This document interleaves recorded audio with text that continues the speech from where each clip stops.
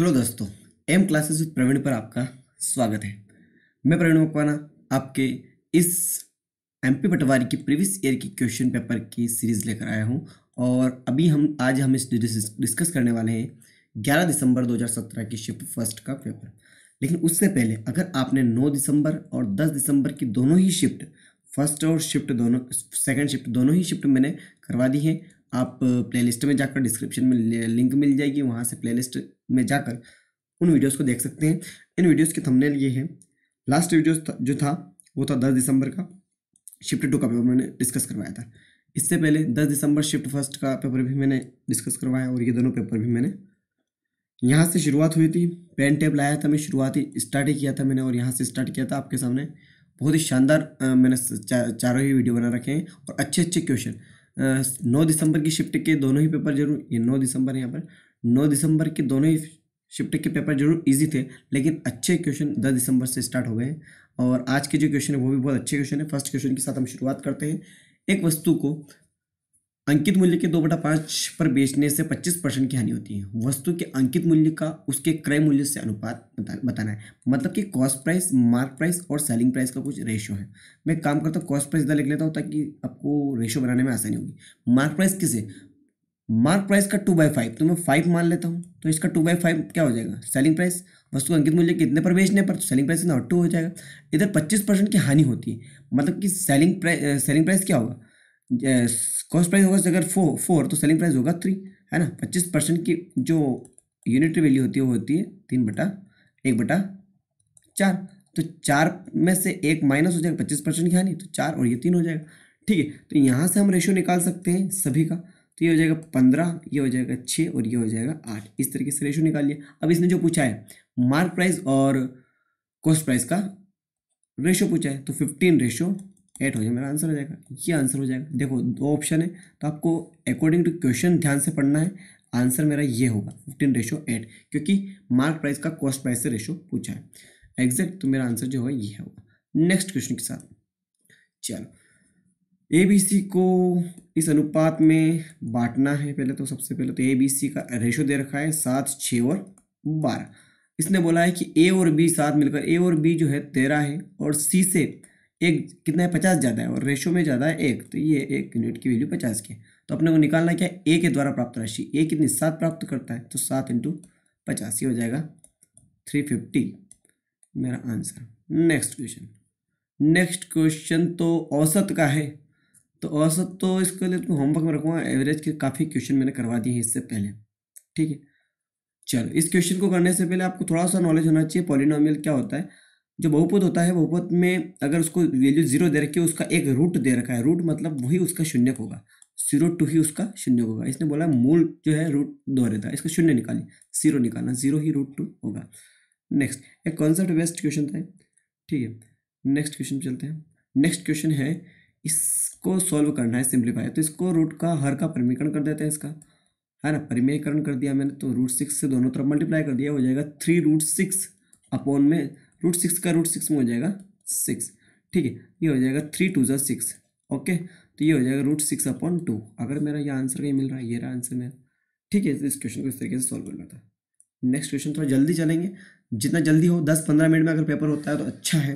चलो, इस क्वेश्चन कहीं जहाँ कॉन्सेप्ट की ज़रूरत पड़ेगी, मैं उस कॉन्सेप्ट को बताता जाऊँगा। लेकिन जहाँ तक जल्दी हो सके, उतना जल्दी अपन करेंगे। वर्ग का क्षेत्रफल, जो एरिया ऑफ़ स्क्वायर होता है, वो साइड स्क्वायर होता है। साइड स्क्वायर की वैल्यू ही इन्होंने दे रखी है। Two five five zero point two twenty five metre square. जब इसको मैं रूट निकालूँगा तो रूट निकालने के लिए आपको आना चाहिए रूट निकालना। उसके लिए आपको जाना पड़ेगा प्लेलिस्ट में मैथ्स की प्लेलिस्ट में या स्क्वायर क्यूब का मैंने वीडियो बना रखा है। आप maths by Makwana sir search करेंगे, वहाँ पर आपको मिल जाएगा। यूट्यूब पे जैसे आप maths by Makwana sir search करेंगे तो वहाँ पर बहुत सारे वीडियोज़ मेरे मिल जाएँगे, उसमें स्क्वायर और इसका भी वीडियो मिल जाएगा। है ना? तो आपको निकालने के लिए जब भी ट्वेंटी फाइव आता है, सबसे पहले मैं फाइव लिख लेता हूँ, क्योंकि ट्वेंटी फाइव दिखता है। और ट्वेंटी फाइव जब दिखता है तो मेरे दिमाग में चलता है कि जो आगे का जो भी जो भी होगा, वो एक कंजिक्यूटिव नंबर का मल्टीपल होगा। कंजिक्यूटिव नंबर के लिए इसको देखना पड़ेगा मुझे ये किसके स्क्वायर के आसपास है। तो पचास के स्क्वायर के आसपास है। पच्चीस सौ पचास का स्क्वायर होता है, पच्चीस सौ के आसपास है। तो कंजिक्यूटिव नंबर इन दोनों का मल्टीप्लाई करके देखता हूँ। अगर मेरे पास क्या आ जाता है तो सही हो जाएगा। फाइव वन ज़ा फाइव फाइव ज़ा twenty five two five five zero यही वैल्यू आ गई मतलब मेरा आंसर हो जाएगा fifty point five point five क्योंकि टू डिजिट थी तो वन डिजिट के लिए इस तरीके से आपको करना था। नेक्स्ट क्वेश्चन इसमें भी एवरेज निकालना है। एवरेज को आप कैसे फाइंड करेंगे? मैंने आप एवरेज का दो तरीके बताया एक तो बताया है कि सबको प्लस करके डिवाइड कर दो, या एक और बताया है मैंने कि एक नंबर पहले से ही आप मान लो कुछ इनमें से और उसको फिर प्लस माइनस करके कर सकते हैं। तो ये भी आपका होमवर्क रहेगा। इसका आंसर आप कमेंट सेक्शन में करिएगा। नेक्स्ट क्वेश्चन इसको सॉल्व करना है। इसके लिए इसको इसको सॉल्व करना है, इसकी वैल्यू मुझे फाइंड करनी है और ये वैल्यू मेरे पास दे रखी है। तो मैं इसका फॉर्मूला लगाऊँगा, ये कौन सा फॉर्मूला लगेगा ए माइनस बी का होल स्क्वायर लगेगा ये हो जाएगा A square plus B square minus में टू ए बी तो ए स्क्वायर यहाँ पे क्या हो जाएगा? ये हो जाएगा पाँच, यहाँ पे है फाइव एक्स माइनस टू का होल स्क्वायर तो फाइव एक्स मतलब ट्वेंटी फाइव एक्स स्क्वायर है ना? और बी स्क्वायर मतलब फोर और माइनस में टू ए बी मतलब कि two into two into five चार पाँचों बीस एक्स हो जाएगा। और इसको मैं थोड़ा सा अरेंज करके लिख लेता हूँ। एक्स वाले एक तरफ़ तो ट्वेंटी एक्स प्लस में फोर इसमें से इसमें से मैं कुछ कॉमन निकाल सकता हूँ। तो मैं कॉमन निकालता हूँ फाइव कॉमन निकाल सकता हूँ। फाइव मैंने कॉमन निकाला। फाइव कॉमन निकालने का कारण? क्या कारण था? कि इस चीज़ की वैल्यू मुझे यहाँ दे रखी है। Five X square minus four X और इसकी वैल्यू अगर मैं यहाँ से निकालना चाहूँ तो इक्वल्स टू में आ जाएगी माइनस का सेवन तो इस चीज़ की वैल्यू मेरे पास आ जाएगी। तो ये मेरे पास वैल्यू आ गई है। प्लस में फोर था ये आ जाएगी माइनस की सेवन और इंटू में फाइव तो था ही। प्लस में फोर, फाइव, सेवन सा कितना हो जाएगा? माइनस का थर्टी, फाइव, प्लस का फोर। यहाँ से वैल्यू आ जाएगी माइनस का थर्टी वन। ये मेरे पास आंसर हो जाएगा, ठीक है? इस तरीके से इस क्वेश्चन को सॉल्व करना था। थोड़ा सा देखना पड़ता है, सोल्यूशन करते जाते हो, जो निकालना उसको करते जाते हो तो अपने पास राह बनती जाती है। तो इस तरीके से करना था। चलो, ये तो वैल्यू बेस्ड क्वेश्चन है, कुछ नहीं है। वैल्यू बेस्ड सारी वैल्यू दे रखी है। ए बी सी का एक तरीके से कह सकते हो रेशो ही दे रखा है। रेशो क्या कह सकते हो? इसको कह सकते हो छः को कॉपी और चार कॉपी है एक सेम सेम सेम टाइम में, है ना? समान समय इसने बोला, है ना? एक आइसक्रीम प्रतियोगिता भाग लिया और समान समय में ए छः कूप बी चार कूप और सी ने पाँच कूप खाए और आधे घंटे में ए कितना खा जाता है? एटीन है ना? तो वन रेशियो की वैल्यू में वन यूनिट की वैल्यू निकाल सकता हूँ थ्री और इसने पूछा है कि टोटल तीनों मिलकर कितने खाएँगे? तो सभी को समान समय तक खिलाना, आधे घंटे तक तो आधे घंटे तक के लिए, ये टोटल कितना हो जाएगा? फिफ्टीन फिफ्टीन को थ्री से मल्टीप्लाई कर दूँगा, ये हो जाएगा फोर्टी फाइव इस तरीके से इस क्वेश्चन को करना था। सिंपल था। नेक्स्ट क्वेश्चन नहीं, समझ में आया? फिर से रिपीट देखो कि समझ में आ जाएगा। कोई बड़ी बात नहीं क्वेश्चन को पढ़ना ध्यान से। जेम्स फर्श को चौबीस मिनट में झाड़ सकता है। जेम्स जो है जेम्स चौबीस मिनट में झाड़ सकता है। वहीं जिल जो है जिल बारह मिनट में झाड़ सकता है। मैं यहाँ से इसकी पहले टोटल वर्क निकाल लेता हूँ। टोटल वर्क मैं इसमें एलसीएम निकालूँगा एलसीएम आएगा ट्वेंटी फोर यहाँ से मैं कैपेसिटी निकाल सकता हूँ। ये हो जाएगी चौबीस से कम चौबीस और बारह दूना चौबीस. टोटल कैपेसिटी कितनी हो जाएगी? तीन. और अपने को काम कितना करवाना है? ट्वेंटी फोर तो यहाँ से हो जाएगा, कितना आ जाएगा? थ्री एट सात. एट मिनट मेरे पास आंसर आएँगे. ये हो जाएगा मेरा आंसर ठीक है, इस तरीके से इस क्वेश्चन को करना था। टाइम एंड वर्क पे क्वेश्चन था ये। नेक्स्ट क्वेश्चन ये बहुत बेस्ट क्वेश्चन है। इसमें आपको कुछ करना है। पहले थोड़ा कॉमन सेंस लगाया मैंने कि मैं सबसे पहले इसको इस तरीके से बहुभुज बना लेता हूँ पॉलीगन बना लेता हूँ। पॉलीगन को पॉलीगन के कोणों का योग निकालने का एक तरीका होता है एन माइनस टू और इंटू में वन एटी अभी अगर मैं देखूँ इसको, अभी जो इसमें जो बना हुआ है, उसमें तो टोटल कितनी है? फाइव है। लेकिन जब मैं इसको पूरा कर लेता हूँ तो दस बुझाई हो जाती है। जब दस बुझाई हो जाती है तो दस माइनस तो आठ इंटू वन एटी करूँगा। तो यहाँ से हो जाएगा ये टोटल टोटल आ गई। लेकिन मुझे निकालना कितनी दस में से पाँच बुझाओ पाँच बुझाओ ये पाँच ही बुझाए पाँच बुझाओ के सभी कोणों का योग कितना है। तो मैं इसको आधा कर लेता हूँ। ये दस बुझाओ के लिए तो आधी पाँच बुझाओ के लिए हो जाएगा। दो चौक, आठ, अठारह चौक, बहत्तर सेवन ट्वेंटी। तो इस तरीके से इस क्वेश्चन को कर सकते हैं। नेक्स्ट क्वेश्चन इसमें ग्यारह से विभाजित करना है। ठीक है, ग्यारह से विभाजित करना है तो ग्यारह से भाग लगा दीजिए, है ना? तो ग्यारह छंग छाछठ ग्यारह आठ अट्ठासी और ग्यारह एकम ग्यारह और बचेगा वन। तो वन मेरा, मेरे पास आंसर आ जाएगा। ठीक है, इस तरीके से। जो मेरे पास रिमाइंडर बचा रिमाइंडर निकालना था इसमें। नेक्स्ट दो मित्रों की वर्तमान आयु दे रखी है, वर्तमान आयु दे रखी है वन और फोर ठीक है तो इसके पहले चार वर्ष पूर्व कितने वन रेशो सेवन दे रखा है। ठीक है, और दस वर्ष पश्चात की मुझे निकालनी है। ठीक है, लेकिन उससे पहले मैं थोड़ा सा इसको रेशो इक्वल कर लेता हूँ। रेशो इक्वल नहीं, यहाँ पर कुछ अंतर लगा रहा है, यहाँ पर कुछ अंतर इसलिए रेशो इक्वल करने का तरीका इन दोनों का बीच का देखा हूँ थ्री का डिफरेंस इधर है सिक्स तो मैं डिफरेंस सेम करूँगा। डिफरेंस सेम करने के लिए यहाँ से टू से मल्टीप्लाई करना पड़ेगा। मतलब वन रेशो सेवन तो रहेगा ही रहेगा चार वर्ष पहले लेकिन बाद का क्या हो जाएगा?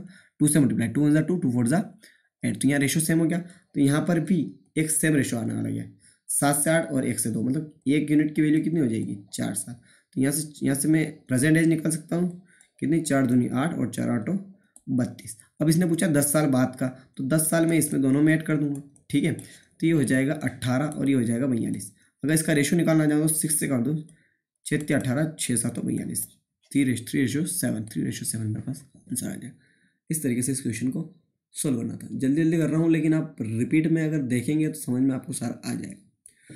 ठीक है नेक्स्ट एक कार्यक्रम चालीस संगीतकारों को आमंत्रित किया गया है और केवल सात बटा दस उपस्थित थे। देखो, चालीस में से कितने सात बटा दस उपस्थित हैं? उपस्थित होने वाली वैल्यू निकाल सकता हूँ? कितने? अट्ठाईस उपस्थित हैं। तो उन संगीतकारों की संख्या जो कार्यक्रम अनुपस्थित थे तो अनुपस्थित हो जाएँगे? बारह। सिंपल क्वेश्चन ये तो आपको होमवर्क जल्दी जल्दी करेंगे ताकि अपना जितना जल्दी हो सके पेपर जल्दी हो जाए।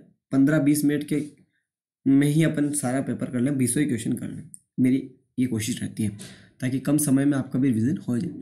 एक संख्या के वर्ग, उसके वर्गमूल का, एक संख्या के वर्ग, उसके वर्गमूल का योग योग, योगफल छ के वर्ग छः के वर्ग के आधे के बराबर, के आधे के बराबर, इस तरीके से। तो ये हो जाएगा X square plus root X equals two क्या आ जाएगा?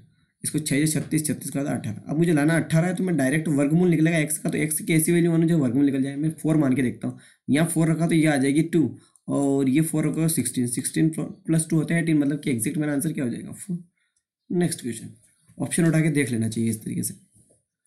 इसको करते हैं, इसके लिए क्या करना पड़ेगा? इसको थोड़ा सा सोल्यूशन करना पड़ेगा।